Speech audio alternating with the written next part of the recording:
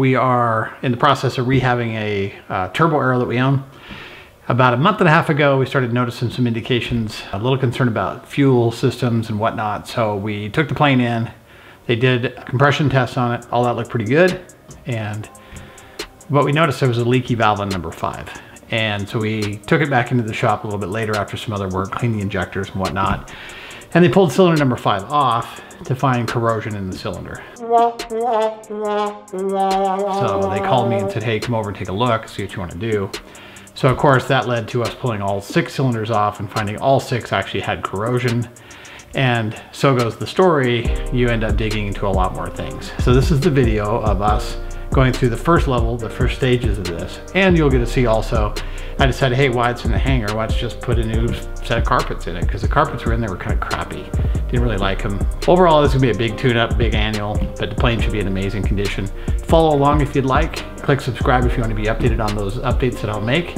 I'm going to be continuing this series throughout the year, not only with this aircraft, but with other planes and just their personal things in life. So hope you enjoy this. Let's go take a look at the hangar.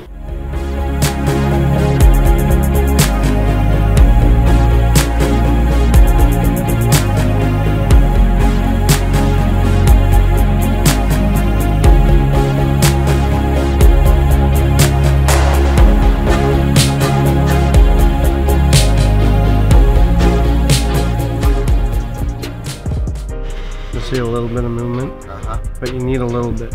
Okay. And I'll mic it, of course, but just first fill, that's pretty tight. That's good. I mean, I've seen them where you're like, So is that the exhaust there? that's intake. But seat-wise, we'll have to just time, but see, that guide has very little movement. Right.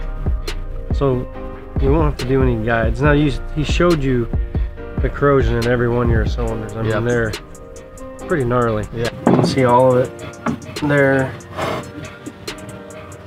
Same, I mean, they're almost all in the same spot. Like, We're gonna go around the other side of the airplane and we're gonna see the carpet work that's getting done.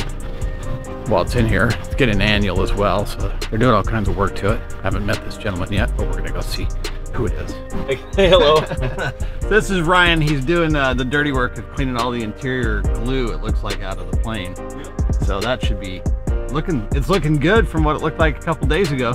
Next phase of my spending money this uh, this this first year, huh? It's 2019, uh, the year of the redo of the Arrow.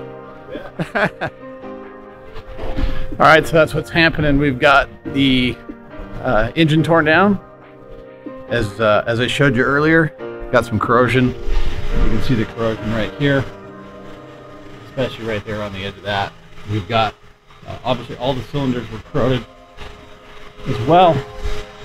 And uh, you can see some of the corrosion and breakdown there. So this engine's coming out. That should be fun. The engine's gonna be coming out probably next week. Uh, they're gonna get the cylinders sent off this week. Carpet's getting cleaned out, so it's quite the overhaul.